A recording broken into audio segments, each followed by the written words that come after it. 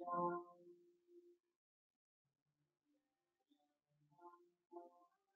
า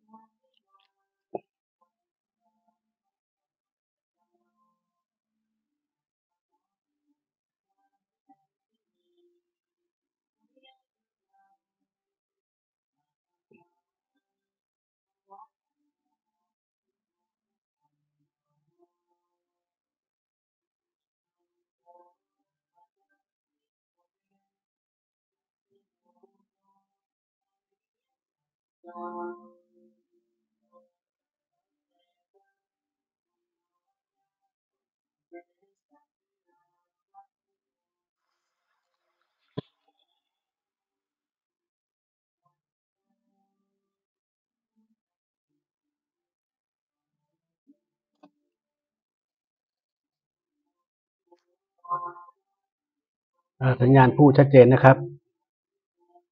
ยืนสัญญาณพูดชัดเจนนะครับ ไม่มีปัญหาเลยนะครับ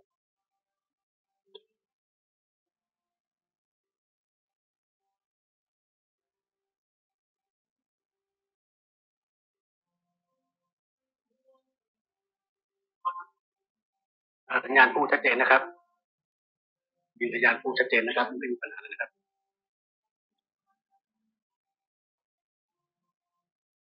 นี่ครับที่บอกว่าตอนเนี้ย มันมีพลังงานเข้ามารุนแรงเห็นไหมฮะประมาณสามสามด้านข้างหลัง มีแหล่งพลังงานสามแหล่งเข้ามาครับ ถ้าดูอย่างนี้จริงๆแบบเนี้ยดูภาพหน้าตัดเนี่ย เห็นว่าตรงนี้ไหมครับ น้ำเงินเข้มเข้ามาส่วนหนึ่งวันดันเบลอยู่ตรงนี้ แต่มีสองสาม layer อยู่ด้านนอกค่อนข้างเข้มอยู่เหมือนกันมาอีกด้านหนึ่งเราดูจากตรงนี้ครับเห็นไหมฮะอันนี้น้ำเงินเข้มถูกไหมครับน้ำเงินเข้มแล้วมาตรงนี้ด้วย เนี่ย ที่บอกว่า IMF เส้นน้ำเงินเนี่ยมาจาก ดวงอาทิตเรายังยังคงดีอยู่ แต่พอมาข้างหลังปั๊บเห็นไหมฮะแต่ข้างหลังเนี่ย มันโผล่ทิ่มเข้ามา เนี่ย ไอ้ลูกเนี่ยครับ มันทิ่มเข้ามาหาโลกเรา ตรงนี้นะฮะ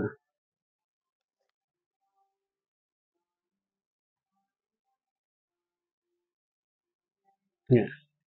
นั้นถามว่าไอ้ตรงเนี้ยที่มันมามันมาจากไหนล่ะนะครับนั่นคือไม่ได้จากดวงอาทิตย์แน่นอน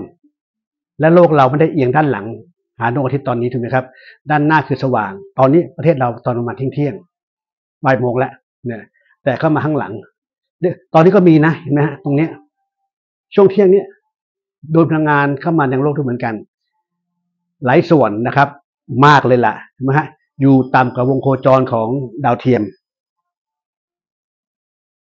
นะฮะเห็นไหมฮะของของตัวของของของดาวเทียม เยอะ ลมแรงไหมลมไม่แรง นี่นะครับ ลมสุริยะสามร้อยกว่าสามสามสามสี่ร้อยกว่า ดูสีตรงนี้ครับ ยังไม่เข้มเลยนะครับ แต่ตรงเนี้ยเข้มจัดเลยเห็นไหมฮะเรียกว่าแต่เช้ามานะฮะเช้ามาจนถึงค่ำประมาณสี่ทุ่มเนี่ยพลังงานมาเยอะ ซึ่งมันไม่ได้มาจากดวงอาทิตย์เรานะข้างหลังไม่ต้องพูดถึงครับ เยอะมากเลย งั้นลมสุริยะ มาไม่แรง ไม่มีโซลาแฟร์เข้ามานะครับไม่มีโซลาซอมเข้ามา ที่แดงเถือกเนี่ยมันไม่อยู่จากด้านหน้านะครับ เพราะอันนี้เป็นสีเหลืองธรรมดา มันจากด้านข้าง ที่บอกว่านาซาไม่ทำเป็นเปลี่ยนภาพสามมิติ แล้วมาดูสนามแม่เหล็กโลกนะครับ เห็นไหมฮะมาจากดวงอาทิตย์ไม่มีปัญหาอะไร สกัดกั้นอยู่ แต่ตรงนี้ไม่ใช่ ดูดีนะ มันโค้งจากตรงนี้เข้ามาบริเวณนี้ทิ่มมาตรงนี้ข้างล่างก็มีเหมือนกัน เห็นไหมฮะทิ่มเข้ามางั้นตรงนี้ก็ชี้ชัดว่าไม่ได้มาจากดวงอาทิตย์เราบางจุดมีกระแทกตรงนี้นะสีน้ำเงินนะครับคิวเลอร์โปรตอนสีเขียวเต็มเลย แล้วตัวนี้ครับวานารันเบลก็พยายามสร้างเกราะขึ้นมาทุกด้านป้องกันนะนะ ฮะถึงมีสองเส้นมั่งสามเส้นมั่งแล้วหนึ่งเส้นนั่งรวมกันมั่งเห็นไหมฮะถูกแรงบีบอัดบีบอัดบีบอัดมา ประเด็นคือเมื่อวานนี้ตอนเย็นๆนะครับ เนี่ย สนามเมฆโลกยังยังคงคงภาพดีอยู่เมื่อตอนเช้าเนี่ยยังเป็นทรงกลมอยู่ แต่ตอนนี้เห็นไหมครับ มันมันบิดเบี้ยวอยู่แล้วนี่คนโลกเหนือคนโลกใต้จากเมื่อเช้าวงใหญ่ๆเดี๋ยววงเล็กแล้วมีกระโดดบางส่วนด้วย มาดูน้ำเงินตัดต่อแบบเร็วๆเลย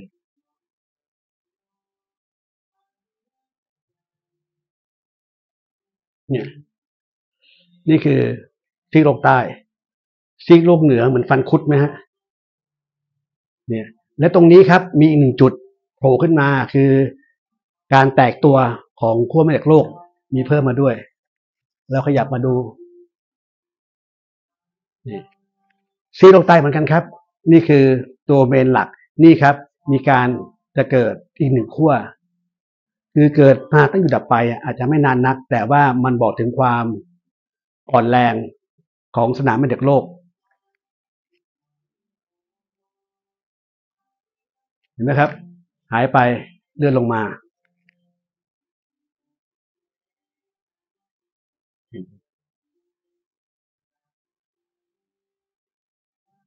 นั่นดูตามมันนะครับ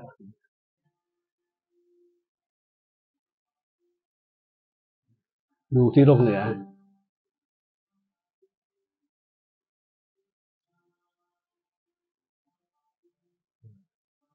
ทำมาให้มันบานตลอดแนว เนี่ย แล้วดูซีกโลกเหนือตอนนี้ ไม่เป็นทรงกลมเลย ทรงรีก็ไม่ใช่ผมว่าเป็นทรงฟันคุดจะมากกว่า ตรงนี้ก็มีการยุบตัวเข้ามา นี่ก็การสามเหลี่ยมชัดเจนเลย งั้นการทรงเนี่ยครับ มันถือว่ามันมันน่ากลัวอาการทรงกลมกับวงรี มันแสดงถึงว่ามีการพลังงานบันดาลไปดันมา เพราะอย่าลืมว่าพลังงานเข้าทางขั้วโลกเหนือเป็นหลักนะครับ ออกขั้วโลกใต้เข้าขั้วโลกเหนือ ทีนี้พลังงานที่มาจากแหล่งอื่น ก็สามารถเข้าโลกได้ผ่านซีกโลกเหนือ ซึ่งประเทศเราอยู่ในโซนซีกโลกเหนือแต่อยู่ไกลจากขั้วโลกเท่านั้นเองภูมิอากาศเปลี่ยนแปลงหนักหน่วงแน่นอน ก็ต้องระวังเรื่องของแผ่นดินไหวใหญ่ ๆ ช่วงนี้นะครับ ผมเจอที่สีค้ำที่ป่าซางที่ป่าตึง ที่ป่าเมี่ยงเป็นหลักงั้นจังหวัดอื่น เชียงใหม่ จังหวัดแม่ฮ่องสอน จังหวัดแพร่น่านนะครับพิษณุโลกตดิตมีหรือเปล่าไม่ทราบ สังเกตดูสัตว์ใต้ดิน ขึ้นมาบนดินเยอะไหมจะเป็นไส้เดือนก็ดี เป็นปลวกก็ดี เป็นมดก็ดีหรืองูก็ดีเนี่ย เพราะก่อนมีดินไหวใหญ่ยังมีความถี่สูง ความถี่เริ่มแรงๆปั๊บเนี่ยมันว่ากูลสประสาทก็หนีขึ้นข้างบน เพราะที่อยู่ต่ำไปเจอความถี่มาก มันก็เลยมีการรบกวนมากขึ้นนะครับ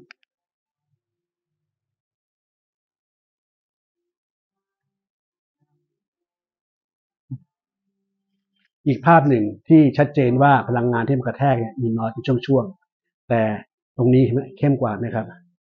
เห็นไหมดูสีตรงนี้นะดวงอาทิตย์ ลมมาทางด้านนี้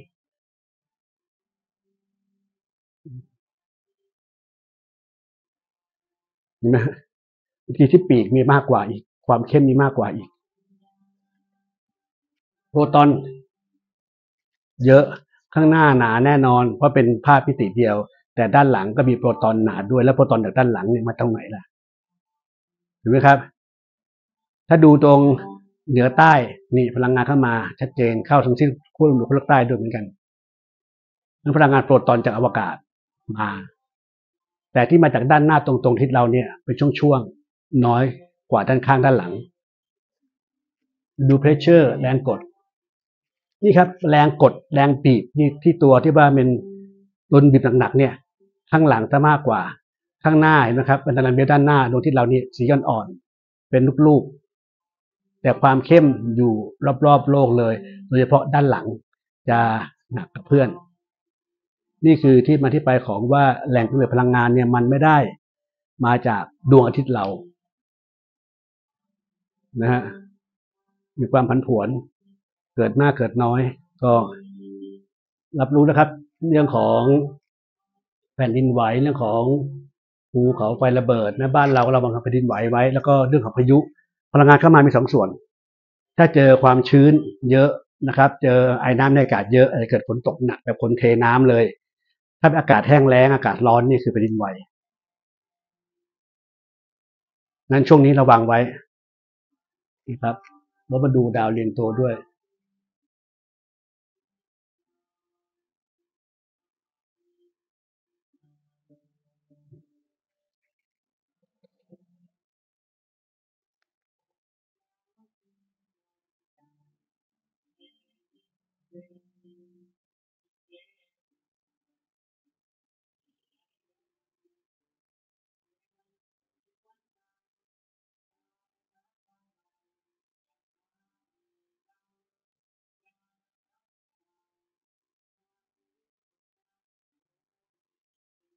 อ้าวเป็นไรนะ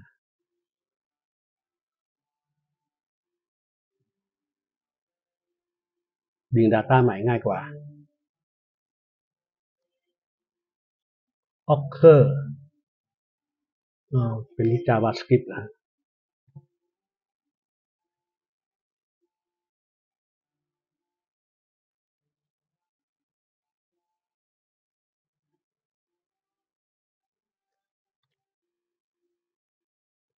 โอ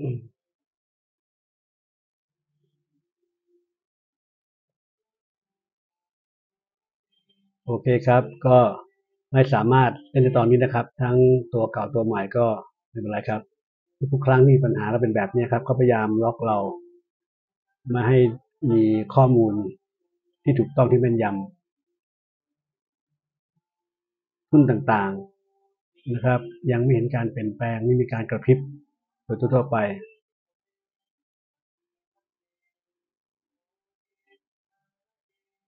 โอ้คอมพิวเตอร์มีการรีลันใหม่แน่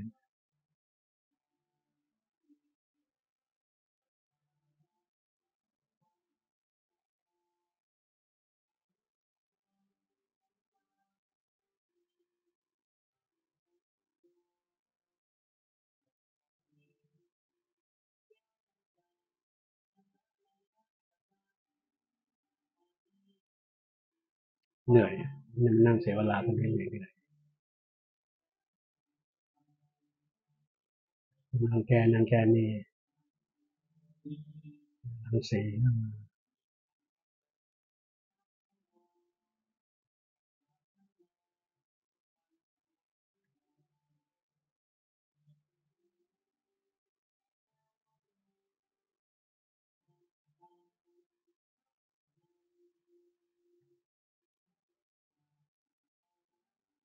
โง่นะครับมันตะคุนี้เกิดหลุมยุบอยู่นะเห็นไหมฮะสิงโฮดูที่สิงโฮอีกแล้วเออเดี๋ยวมีอะไรคืบหน้าก็จะบอกหนึ่งครั้งนะครับ วันนี้ก็แค่นี้ก่อนเพราะว่ามีคนทักมาเรื่องของแผ่นดินไหวเรื่องของฝนตกน้ำท่วม จะเป็นอย่างนั้นแหละครับ ดูดีๆนะ เก็บตังค์ถ้าท่านมีเงินแล้ว ซื้อทอง ตุนเอาไว้ สงครามเกิดทุกอย่างติดตกต่ำทองกระโดดอย่างเดียวครับ